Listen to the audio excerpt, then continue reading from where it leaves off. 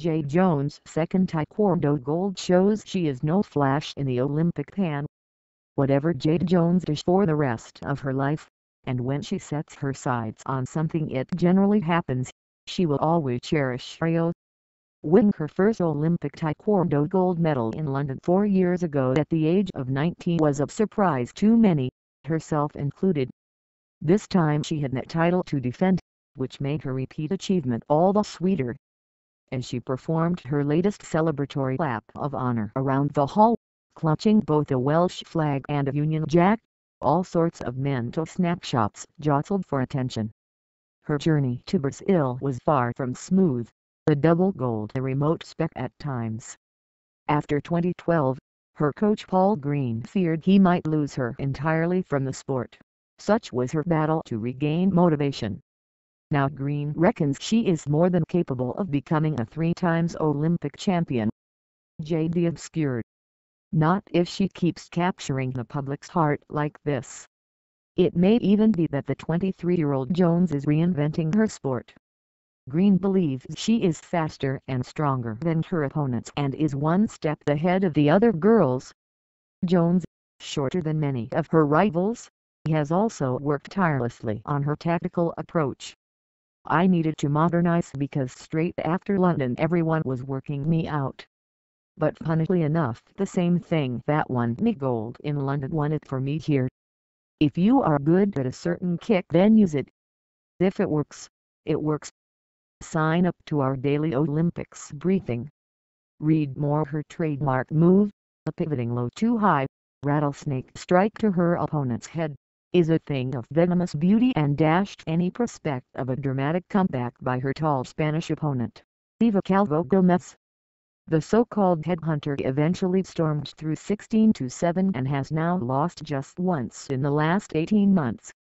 She has also rekindled her enthusiasm for her preferred martial art, first sparked when her grandfather took her along to a class in her native North Wales to release her excessive energy I remember walking in and seeing all the flashy kicks and spins. Straight away I was drawn to it. I never wanted to miss a session.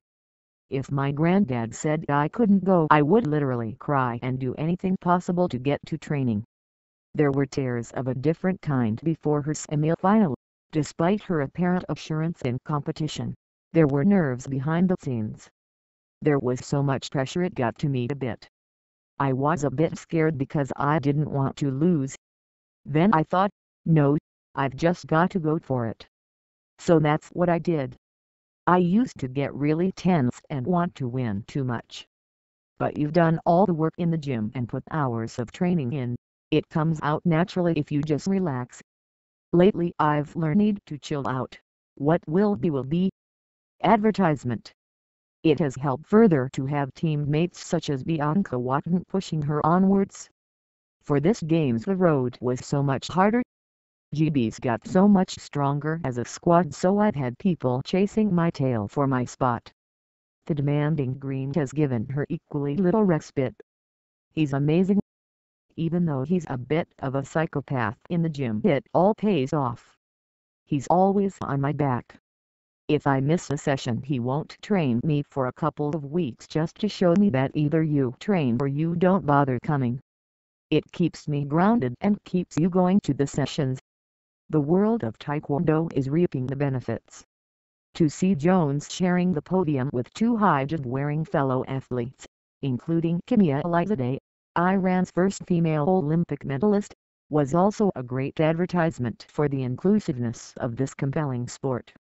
Jones hopes this message will keep rippling outwards. People don't see Taekwondo as a girl's sport but there are so many people doing it now. It's just amazing. It teaches you so much respect and confidence. It's great. Get into it. In Wales, not short at these games of athletes who have punched above their weight. Jones's rising popularity is such that fond references to JJ are no longer confined to the former rugby international JJ Williams. She is not finished yet, either, with firm world championship ambitions as well.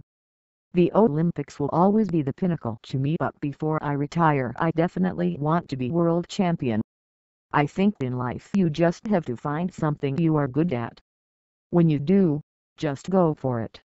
Taekwondo is my thing, I want to do the best I possibly